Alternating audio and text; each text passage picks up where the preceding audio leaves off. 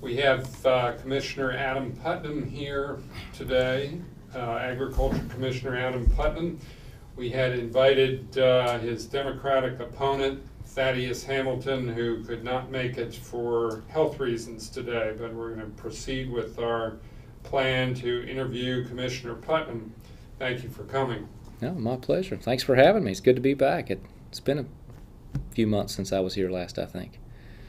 I'm going to start out with a, uh, a pretty basic, open-ended question, um, but um, we uh, we have a long list of questions, so hopefully we'll we and a, lot of ground to cover, a lot of ground to plow, um, but we'll um, hope hopefully get to a lot of our questions. Um, the question is why should Florida voters give you another four years as agriculture commissioner? When I came before you four years ago to ask for your endorsement of my first campaign to be Commissioner of Agriculture, I talked about the need for us to transform this department, to be the department that both protected and promoted Florida's 100 plus billion dollar agriculture industry, but also the department that recognized that Florida now has 19 million people, will soon be the third most populous state, and identify the issues that transcend the traditional or stereotypical view of the commissioner's office. We started with nutrition. We became the first state in the country for the legislature to give the Department of Agriculture responsibility for the school nutrition programs. And we've had great success connecting local farmers, fresh, wholesome produce to the schools. This most recent year, because of our responsibilities with the state's energy office, I identified a need for us to fix the funding formula for bricks and mortar in our schools. Not traditionally something that people associate with Commissioner of Agriculture, but we're building our schools with an unsustainable formula that in part is based on taxes on landline telephones.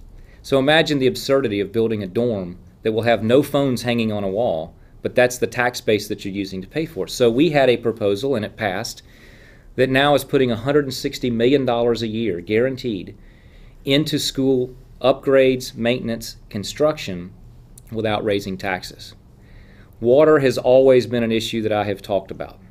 Again, an issue that's important to agriculture, but it's important to all Floridians. Whether you want to build a subdivision, plant an orange grove, or save the Everglades or our springs, it will come down to a long term comprehensive approach to water water policy in our state. And then, uh, and, and, you know, my fourth accomplishment that I'm very proud of is the work that we've done called Operation Outdoor Freedom, where we are connecting uh, disabled veterans of all wars, not just the recent ones, with uh, public lands and hunting and fishing opportunities, uh, particularly on our state forests that we manage, over a million acres of state forests in the portfolio of the Commissioner of Agriculture. So we have transformed nutrition, water, education, serving our veterans, and consumer protection. We've done extraordinary things uh, outside the traditional stereotype of commissioner to protect kids' identities, to overhaul charity laws, and protect Floridians and their money. Well, that's a nice list of accomplishments there, Commissioner. What beyond your experience in this job differentiates you from your challenger in this race? I'm a fifth generation Floridian. uh, I'm in the citrus and cattle business in Polk County in Bartow. Uh, grew up in 4 H and FFA. Uh, agriculture is in my DNA. Uh, I left Washington because it was a hot, wet, dysfunctional mess to come home to be in a role that allowed me to make an impact, to make a difference. And, and that's an important distinguishing feature between what's going on in our state and what's going on in our federal government. And I, any one of the things that I discussed in, in what I consider to be our accomplishments would have taken years, years to do any one of those things in Washington. Uh, I believe that my background at the federal level has enabled me to uh, be a, a strong advocate for Florida and, and to go to Washington on Florida's behalf on issues that are important to our entire state, uh, but also to, uh, to, to run an agency of 4,400 people with very diverse responsibilities and manage that executive responsibility in a way that's efficient for taxpayers and effective for people who need our services. Uh, I've had an opportunity to appear on a couple of occasions with, with my opponent, and we will be having a debate again next week. And uh, we've always had a very cordial relationship. He, he ran last time as well, so I got to know him four years ago, and um, and, and I find him to be a, a, a very nice gentleman. Do you have a new set of priorities in mind for the second term if you're reelected? Well, you'll be shocked to know that I think that there's unfinished business that I need four more years to accomplish. Uh, when you look at the nutrition programs, the first phase was wringing out the inefficiencies in logistics and distribution, having statewide contracts so that small counties were able to get the benefit of economies of scale that larger counties have traditionally enjoyed. Creating that supply chain between local producers and the procurement officers in the various school districts.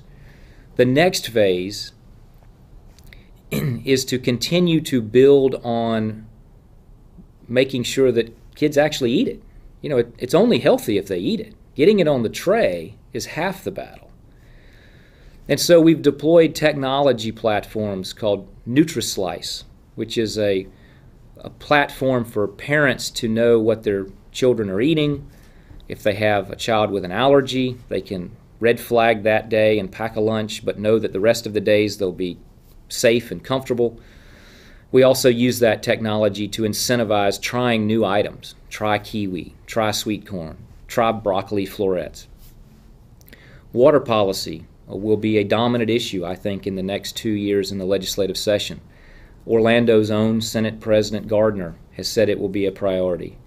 Uh, Speaker Crisafulli has said it will be a, pri- uh, a priority. That's not just an ag issue. It's important to ag, but every Floridian in every corner of the state is facing some type of conflict over water. So that will be an issue certainly for the future. And continuing our work that we've done on uh, energy issues, as well as expanding outdoor uh, recreational opportunities for our wounded veterans, uh, will, will, continue to be things that occupy uh, uh, our time and resources. We also face challenges in agriculture. Citrus greening is just one, but it is the most significant threat to Florida's signature crop. I mean, here we are in Orange County, and yet the citrus industry is at great risk because we're currently losing the battle against citrus greening. In Miami and now in Broward County, unfortunately, I have over 50 personnel uh, going door to door, searching lawns and empty lots for the giant African land snail which is a threat to human health, a threat to the environment, and a threat to agriculture. Our avocado industry in South Florida is at risk because of a pest that hitchhiked into the port of Savannah and has been moving south, destroying wetland habitat because it is killing the bay trees that are the dominant tree species in our wetlands. And so, Florida uh, agriculture, uh, in that regard, continues to have challenges that we that we take very seriously. Well, you mentioned citrus greening, Commissioner, and in 2003, the state produced 243 million boxes of oranges, and I guess last season it was down to 104 million boxes. Is greening responsible entirely for that drop, or are there other factors at play? Well, and I would add that, they, that one of the private estimates for this year's crop is as low as 89 million boxes, the lowest crop, smallest crop in decades. Citrus greening is overwhelmingly responsible for that. Certainly, the base year that you used has seen development and conversion of, of, of lands into other things that had been groves. But the citrus industry in Florida still occupies a footprint of over half a million acres. There are many counties in the interior of the state whose ad valorem tax base is very much connected to the citrus industry. It's a $9 billion industry. B with, as in boy, billion dollar industry. Employs 75,000 people. There's no plan B for that citrus land. You know, on the margins, on the margins, there will be some groves that are at the edge of an urban area and can be converted to other things. On the margins, some people will plant peaches and blueberries. But the vast majority of that, its highest and best use is citrus. And if citrus goes away, really the only alternative is, is cattle. Cattle prices are very high. It's the strongest market anybody's ever seen. But you're not going to plant pine trees on that land that far south. You're not going to plant that many blueberries. You're not going to plant that many peaches. And so um, citrus greening is having a devastating effect. The state has invested millions of dollars in research. The University of Florida is, is, is a critical partner in leading that research effort, but it is a global research effort. The growers themselves have put in tens of millions of dollars to this effort, and the federal government has, is, is our partner in this as well. It is a race against time at this point to find a treatment that allows us to bridge to the longer term solution for citrus greening. It's a bacterial disease spread by a bug called a psyllid. We believe that 95% of all psyllids are infected with the bacteria, which would be akin to saying to a Floridian, 95% of all mosquitoes are carrying malaria. What do you think the chances are that you're going to get malaria? They're pretty high. And so uh, it will have an effect on, it has already had an effect on supply. It certainly is having an enormous effect on cost of production. And there are many, many growers who are on the bubble. And the processing capacity of the industry can't continue to endure such small crops. You've got processing plants all over the state that were built with an expectation of many more millions of gallons of orange juice being squeezed, pasteurized, and stored for sale. If they continue to run at lower capacity, it will become uneconomic at some point. This is probably unfair to put this on your shoulders, but besides providing a crisis exemption for Belay, what leadership have you provided in dealing with the greening issue? The, the leadership that we have provided is uh, working with the legislature to provide research dollars uh, to, to fund the effort to find the short term, medium term, and long term solutions. Uh, we have certainly taken a, a, a lead role in educating the media who have been partners in educating the general public about why this is an issue that's bigger than just citrus growers, what impact it has on Florida's economy and environment and landscape. Uh, we have been very uh, aggressive in, in uh, working Congress as well as USDA to provide support because we have marshaled a coalition of other citrus growing states from California, uh, Louisiana, Arizona, and Texas to be part of a national effort to fight this. Our partners at the University of Florida have been extraordinary in marshaling an international effort of researchers because this disease originated in Asia. So they've been attempting to deal with it longer than we have, as well as, and of course, our Brazilian competitors are actually our our partners in trying to solve this problem. Uh, so we have uh, we worked very hard. Uh, we sit on the Citrus Research Development Foundation, which um, allocates the resources to the various research projects. So uh, it's been a team effort, but but we've certainly had our role to play. I want to jump to the the one of the other issues you mentioned, water. Uh, were you troubled that the legislature in the past session didn't pass a bipartisan Senate bill that had uh, measures that were intended both to protect water quality and water quantity? There were some good things uh, in that water legislation, and I hope that they will come back this year. Uh, there was some deference given uh, by the House and Senate leadership last session to the incoming speaker and the incoming Senate president who had said that this will be their top priority and legacy issues for them to work on. As I said in the beginning, every corner of the state now faces some type of conflict over water. Here in Central Florida, it is particularly acute uh, because you have this Central Florida Water Initiative. You are at the crossroads of three different water management districts that are serving the same population, in essence, same metropolitan area. And on top of serving your residents, uh, you're, you're blessed to have, uh, you know, tens of millions of visitors. You know, Florida's had 94 million visitors last year. Probably two thirds or more of them came to the Central Florida area.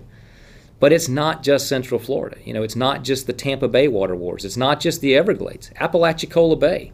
The oyster industry is devastated because water policy didn't was not done right.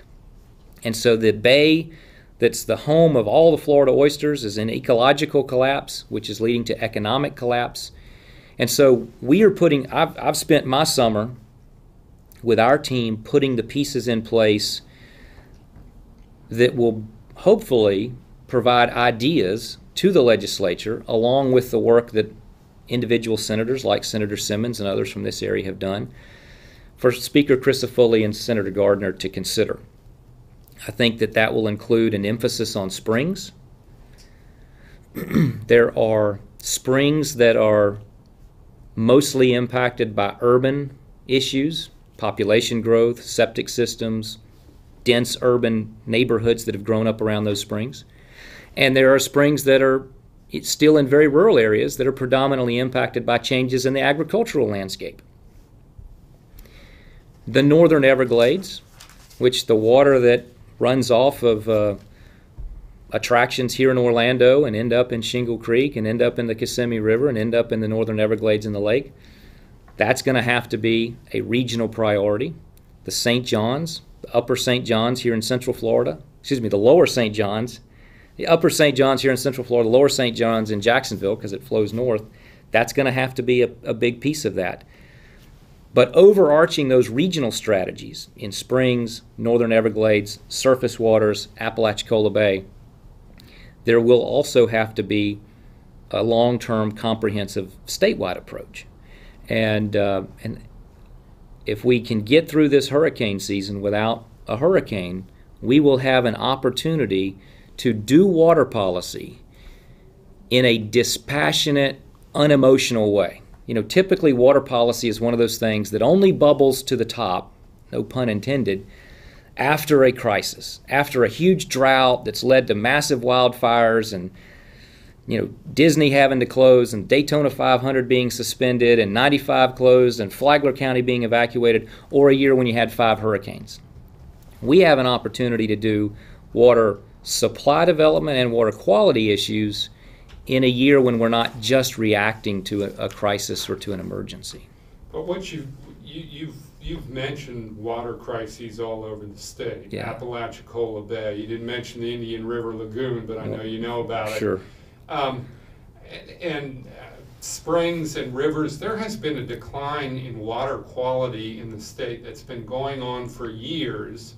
So, uh, I mean, what do you tell people who are frustrated who want to see uh, policy, who want to see something done on this, when this, you know, every year it seems to be, well, we're we're working on this. It, it seems to be hurry up and wait for water policy, and given the pushback from businesses which would rather not deal with the regulation and the and the agricultural industry and some local governments that don't want to deal with it in their water treatment.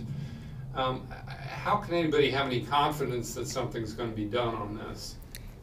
Uh, uh, trust but verify. I believe that this year you will see significant water legislation.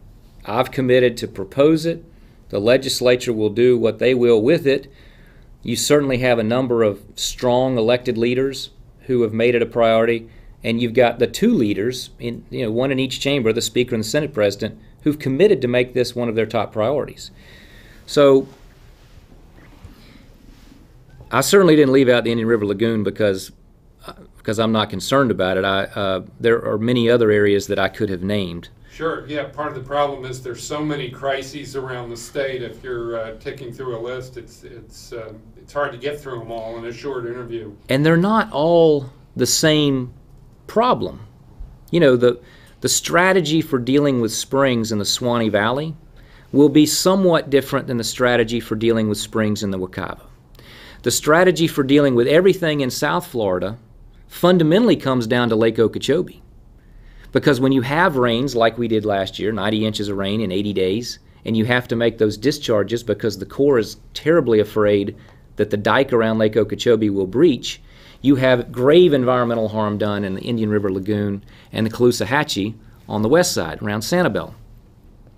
When you don't have water, when you when you have a drought, it would be nice if those lake levels were higher to have access to that water. Because remember, just three years ago, Fort Myers, Lee County, Sanibel were begging for releases from Lake Okeechobee because there was inadequate water flows to help the spawn in that in that uh, basin. So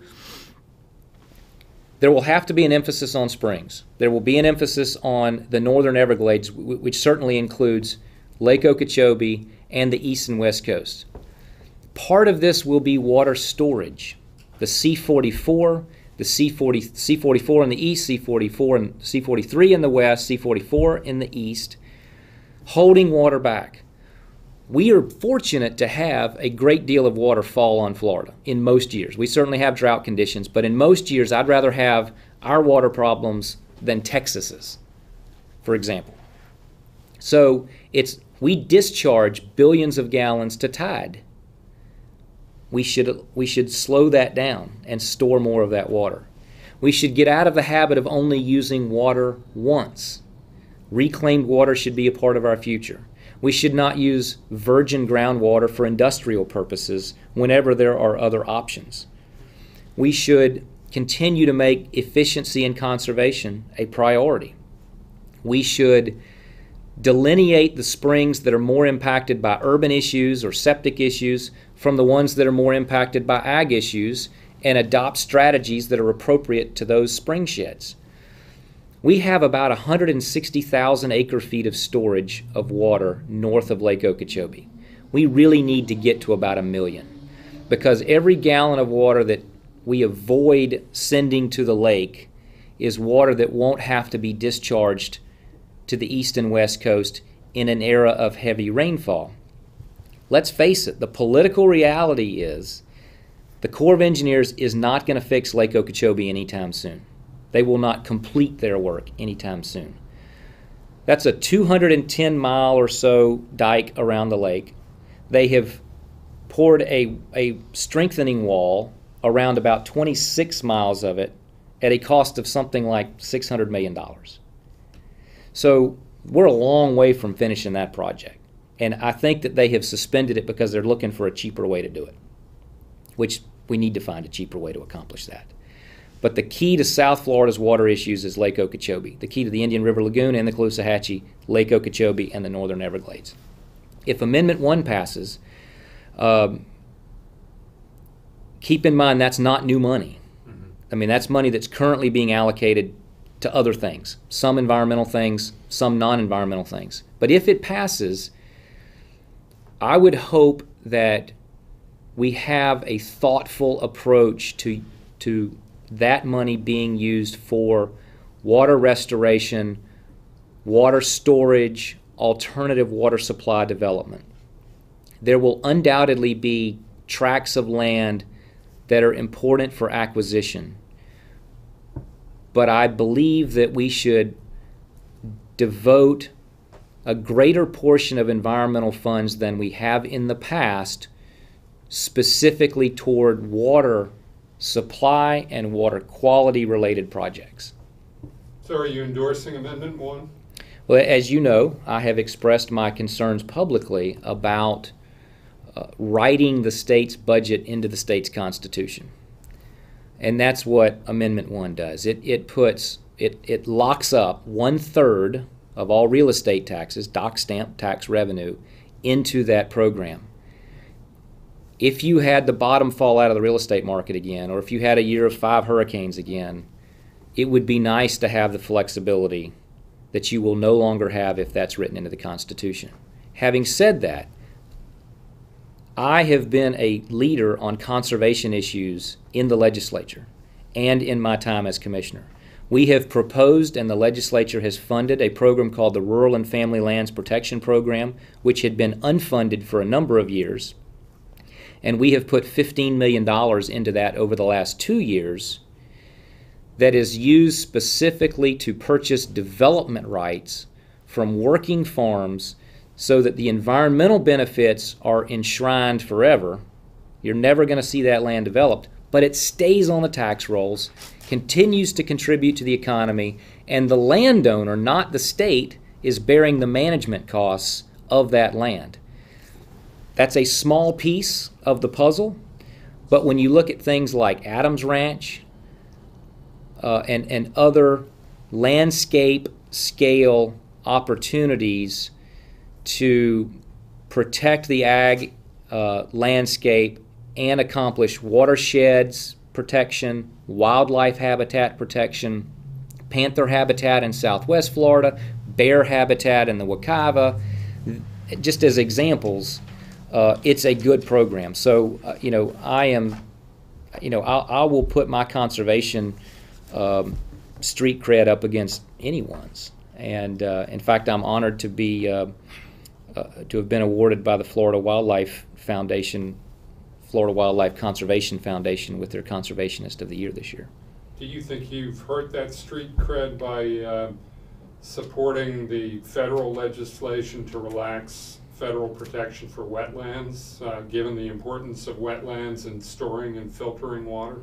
I don't, and and I'm in good company on that. You know, Congress just yesterday voted with 262 votes supporting EPA hitting the pause button on their Waters of the U.S. rule until there's more clarity on what impact it will have across this country. That was a bipartisan vote. It included leaders in the Democratic Party supporting that effort. So that's not just me saying that. But here's what that does it has the potential to expand the waters in Florida that EPA and therefore the Corps of Engineers have jurisdiction over, including ditches, concrete line structures, conveyances, isolated wetlands, because they say the definition of federal waters is no longer navigable waters, it's navigable waters and waters connected to navigable waters, which is a significant step, and land that is seasonally or occasionally wet, particularly where you have a lateral subsurface movement of water. In other words, underground movement of water. That's a broad expansion. That could in that has an impact, and we have identified stormwater examples that will affect utilities and counties and cities. It will affect our ability to move water to stormwater treatment areas. I mean, we move a lot of water around in South Florida for the ex- for the express purpose of cleaning it up before it gets to the Everglades. So, water quality standards are very important. Water is the closest thing that Florida has to a common identity. People come here for the beaches, the springs, the rivers, the lakes. Ask a realtor what a difference clean water makes. People all want to be near or on the water. We've got to get it right. We have, in recent history, a good track record of working hard as a state to try to get it right. Over the life of our state, we've done some pretty dumb things. At one point, we thought it was a good idea to cut a barge canal across the entire peninsula. At one time, we thought it was a good idea to turn the Kissimmee River into a ditch, and then we put it back together again. At one point, we thought it was a good idea to run two major roads through the heart of the Everglades that serve as, as dams for water movement. we can continue to improve on our commitment to cleaning up water and creating additional water supplies, and we must do that. But let's make sure that we're smart about that and that we're getting the best bang for the taxpayer's buck in cleaning up that water and, and allowing ourselves to, uh, to protect what makes Florida special. Well, to stay on water for just one moment longer, um, we've got ranchers around the state who are seeking permits to draw uh, millions of gallons of water on a daily basis. So agricultural use of water must be considered in this equation, um, along with industrial and and municipal use. How would you encourage further conservation of water in agricultural use? That's a great question. And we have made that a priority in our department through a number of mechanisms. One is best management practices. These are production practices that are codified by rule. You know, they have the, the effect of administrative law, and they vary by commodity. So we have citrus BMPs, horse BMPs, cow calf BMPs, peanut BMPs, timber forestry BMPs. That alone has enrolled millions of acres in Florida in those programs, and they are saving billions of gallons per year of water. We also have partnered with the federal government to fund cost share programs for people to use the latest technology on irrigation. Convert from seepage irrigation or overhead spinning sprinklers to drip irrigation, low volume irrigation, using soil sensors that can turn sprinklers on and off if you're passing over a low area that doesn't need to be watered. It turns those sprinklers off, turns them back on as that center pivot continues to move around. We have uh, also done cost share programs on weather stations so that on a cold night, farmers, instead of uh, assuming the worst and cranking all of their pumps, will have access to crowdsourced data to only crank the pumps and run sprinklers all night when they absolutely need to, based on weather conditions much closer to their actual field.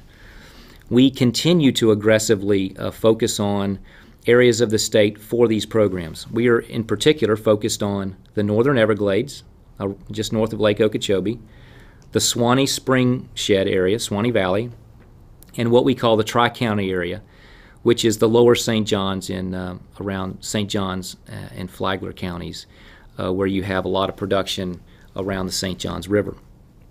We've had measurable success in that. It was based on that success that we asked the legislature for an additional $5 million last year to devote to springs and agricultural areas around vulnerable springs. We, um, we also uh, asked for and received an additional $10 million to focus on northern Everglades issues Indian River Lagoon, Caloosahatchee, St. Lucie Canal, areas that are catching a lot of the water that starts out here in Orlando and cleaning it up before it gets to Lake Okeechobee. So we have a we have a responsibility uh, to be a part of this solution. We are one piece of the problem, and we are one piece of the solution. Uh, and we are we take that very seriously and want to be the best stewards of the land that that we can possibly be from an agricultural perspective. Florida just recently uh, has seen its curve. Uh, ag used to be the biggest water user in the state, agriculture. That has now been overtaken by urban supply. Um, much of the reason for that is the conversion to low volume irrigation technology um, that has dramatically uh, reduced the uh, gallons of water required for agriculture. One, one more water question, and, and it goes back to the street cred on, uh, on water policy. The sugar industry is often in Tallahassee taking the lead in um, resisting stricter water regulation. So did you damage your street cred by going on hunting trips to Texas that were sponsored by the sugar industry? Well, first of all, they were uh, no, I did not. Um, this, the Republican Party of Florida hosts uh, a number of fundraisers, and I participated uh, in a fundraiser involving multiple donors, not just from one company or, or one segment of an industry. Um, unfortunately, uh, and, and you know, here we are 50 plus days out from an election. Unfortunately, running a campaign in Florida for any office takes resources. I'm very proud of the fact that I have over 6,000 donors supporting a Commissioner of Agriculture race. Now, when you're Commissioner of Agriculture, most of that money comes from a barbecue. So I get to eat a lot of pulled pork and a lot of ribs and a lot of sweet corn and a lot of boiled peanuts. And, um, and it comes from all over the state. It's not just South Florida. It's from Central Florida, the Panhandle. Most of my most of my activities, frankly, happen in very small towns where people still know that we even have a commissioner of agriculture in Florida, and um, and so that's it's it's important that we have a broad network of people who are willing to be engaged in politics, whether it's for school board or governor or commissioner of agriculture. This is a this is a participant a, a, a participatory sport, a full contact sport, but a team sport. And, um, and un- unfortunately, um, to buy a full page ad in the Sentinel or to be on television costs a lot of money in the state of Florida, and I, I wish it didn't. But you can understand why the public could, would be skeptical when the agriculture commissioner, whose responsibility includes regulating the sugar industry, would, would take part in an event sponsored, uh, maybe not completely, but in part by the sugar industry. Well, certainly it, they they were participants in that. Uh, just as I've had donors from banking and from publishing and from uh, uh, mass communi- media mass media communications and from insurance agents who are on Main Street selling for you know homeowners and you know I mean that's our system requires all of us to be involved.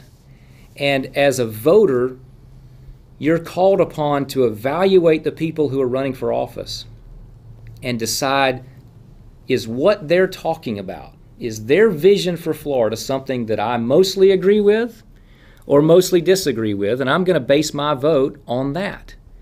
And I've been in um in elected life for, for a long time.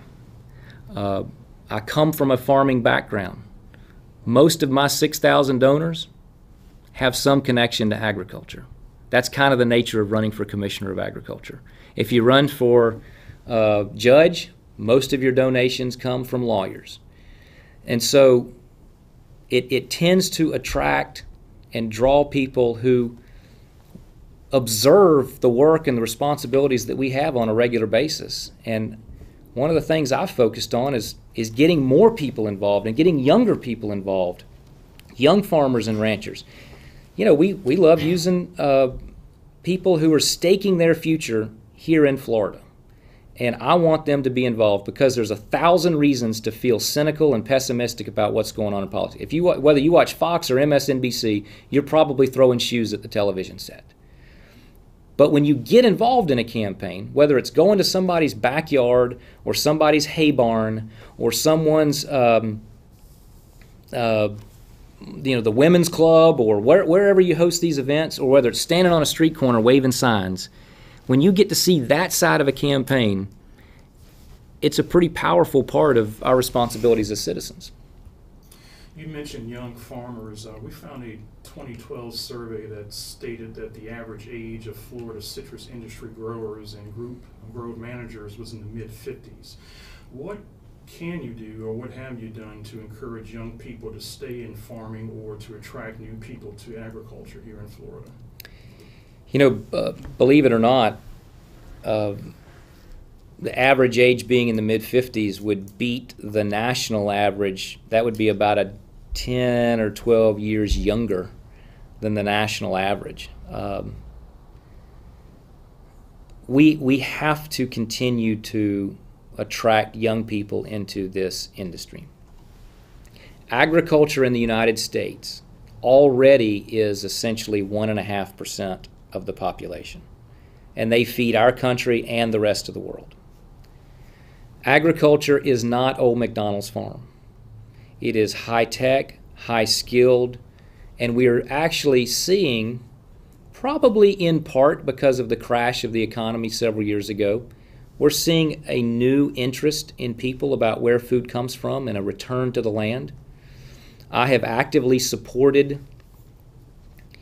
programs for young farmers and ranchers. We host uh, and, and, and fund a seminar every year uh, to help them understand better the business side of it, finance, marketing. We have actively encouraged the farm to table movement, the small farms movement, the cottage food movement. I think that those are all things that are attracting young people to our industry. It's similar to the same trends that are attracting people to craft brew, craft distillery, farm to table restaurants. They're I'll probably get in trouble for using it, it, it, There's a hipster element to that, you know, and and we see it alive and well right here in Orlando, um, East End Market. I did a fundraiser there, a breakfast. It was fantastic. Young guy, attracting other young farmers from around the city to, to, to sell their product. So we also have programs and partnerships with things like the University of Florida, the Wedgeworth Leadership Institute, where they identify talented young farmers and ranchers. It's a grueling two-year program that ends with a with a with an international trip.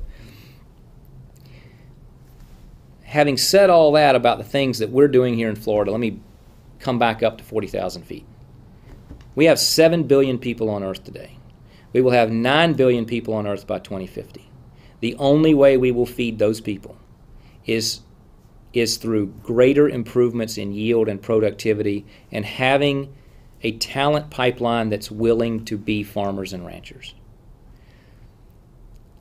If we can't feed the world, we will we will go back to fighting over what mankind has fought over for the last 10,000 years, which wasn't ideas about communism versus capitalism, it was over scarce resources like food and water.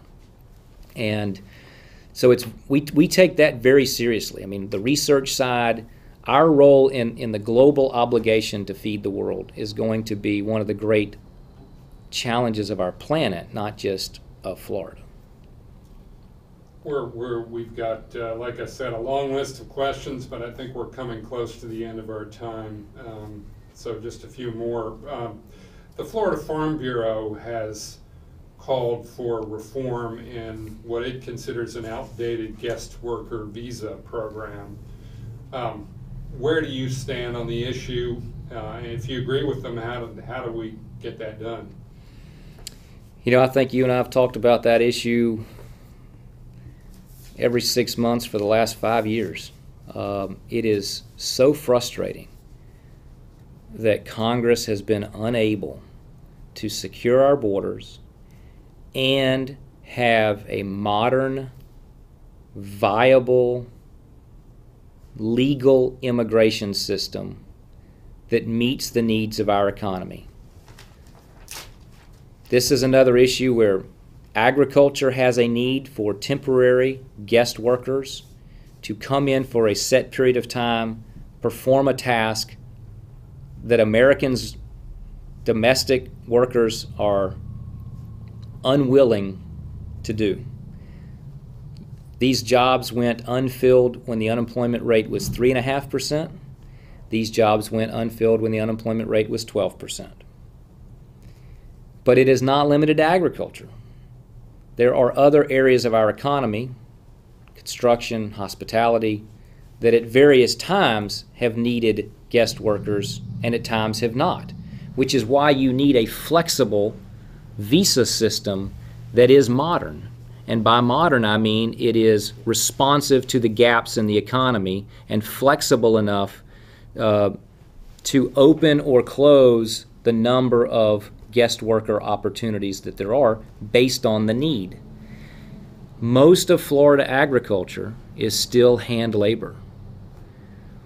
Citrus was sort of further along than, than most of the others in terms of mechanical harvesting. But we just haven't developed a machine yet that decides which strawberry to pick today and which one to leave until two days from now. Same with tomatoes, same with a whole host of other things. And so immigration needs to be dealt with at the national level. When you try to do it state by state, you end up doing real harm, and frankly, under the Constitution, there's not a whole lot states can do anyway. Florida has a global brand to protect. We are a global destination for people to visit, to invest, to trade, to move here, not just from the Northeast or from the Midwest, but from all over the world. We should fiercely protect that brand. Our tourism industry requires modern passports. And frankly, there's more technology in my daughter's elementary school library card than there is in today's passports, by and large. We need a border security system that's effective not only to protect children from being exploited and their parents from having their dreams used to harm their children, but to protect us from ISIS. So we need border security, but we also need that legal guest worker program, that legal visa program that allows us to identify the talent from around the world, whether it's at the high end of the workforce or at the low end of the workforce, to help this economy continue to grow and prosper. Where does the path to either legality or citizenship for the uh, unauthorized immigrants already in the country fit into that equation? Well, that's um, that seems to be the one of the biggest sticking points and and um, one of the reasons why Congress hasn't done anything. Um, it, it, remains to be seen how they will work through that. Uh, it's it's Congress's responsibility, as you pointed out. But would you lend your uh, rhetorical support to a bill that included a path to citizenship if it had the other elements you described of, of better, um, more modern border security and a more modern and viable guest worker program? Well, as you know, these bills are extremely complicated. And so, what I would say is, while I was in Congress, I worked on immigration reforms that did the things that you just described and that I just described. Secure our borders, put the right technology in at the borders and in our passports and in our travel system to allow people and goods to move efficiently but but with a high resolution of accuracy so that we know they are who they say they are and they can't just walk into our country. It, making our legal immigration system relevant. I was part of a group that met on a weekly basis that was bipartisan we were still meeting when I left, and I understand since then um, that the group continued to meet, but then it ultimately collapsed. And at that time, the discussion was about uh, what did not at that time, and this was, of course, four years ago. The discussion at that time did not include uh, immediate citizenship. We, it remains to be seen where Congress will shake out on that. I think that there, the vast majority of people who want to work here are not interested in citizenship here. They want to make a better life for themselves and their family and go back home to make their own town or village or country a better place. For those who desire citizenship, we should have a modernized system for them to play by the rules and have a have a way to get there without skipping the line.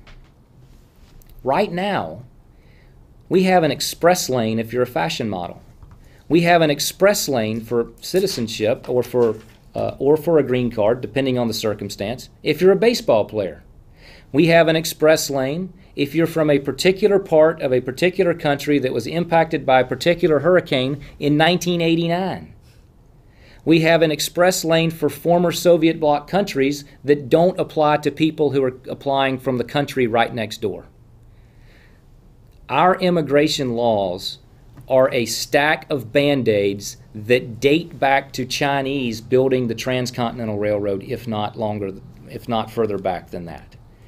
And so modernizing the immigration system has to be a priority so that our economy continues to attract top level talent to attend school at Medical City, to research at Scripps or Burnham, to stay here once they've gone to college here and gotten a PhD in nuclear engineering instead of kicking them out of the country once we've just helped them become a productive, ambitious member of society. I mean, it's all kind of messed up right now. Would you be uh, supportive of a requirement for uh, farmers to uh, use E-Verify for their uh, workers? I think E-Verify is an important tool as part of the overall solution, which includes border security and legal uh, temporary guest worker programs so that you can have a stable legal workforce. E-Verify becomes a key part of that as part of that overall solution. We're, Time? we're, we're just about out of time unless you have a concluding question. Yeah, this one, I guess, is apart from agri- agriculture. As a member of the Florida's cabinet, would you support proposals to relax Florida's process for restoring the rights of felons? The I don't support automatic restoration of all rights for all felons. For rapists, for pedophiles, people in there for second degree murder. I don't think you automatically get to be on a jury or run for office or have a firearm. I have supported decoupling occupational licenses from restoration of rights so that there is a method and a, a, a, pathway, if you will, for individuals who have served their time, who are looking to reintegrate into society, having an ability to get a job. I also support a streamlined approach for nonviolent offenders, uh, a, a, a faster track if